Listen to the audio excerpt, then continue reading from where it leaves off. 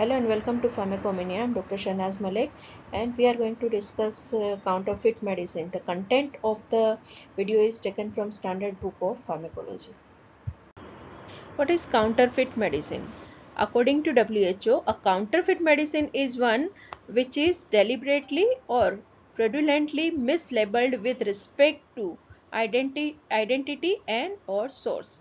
So, counterfeit can apply to both on branded as well as generic product and counterfeit product may include product with correct ingredient or with wrong ingredient or without active ingredient or with in, uh, insufficient active ingredient or with fake packaging. All these conditions are included in counterfeit medicine. Now what is spurious drug? Spurious drug is a drug manufactured under the name which belongs to another drug.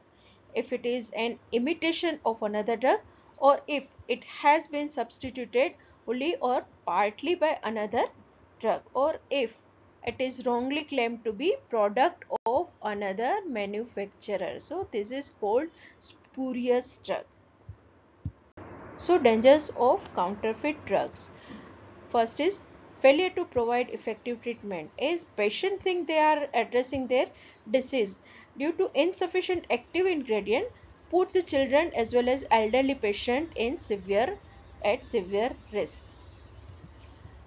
Adulteration with toxic chemical often leading to death and, and injury.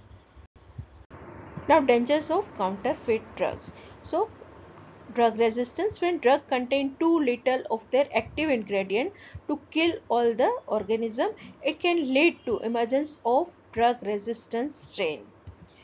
Loss of confidence in pharmaceutical company. Even a single case of counterfeit drug undermine the entire credibility of pharmaceutical supply chain.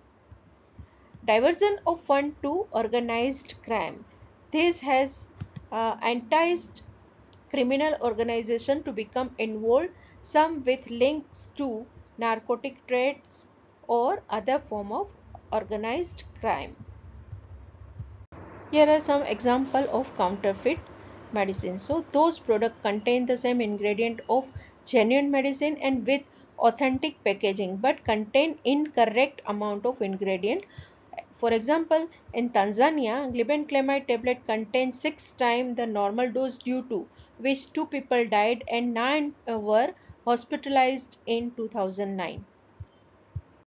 Those products having resemblance to the original with genuine packaging but containing harmful substances instead of correct active ingredient.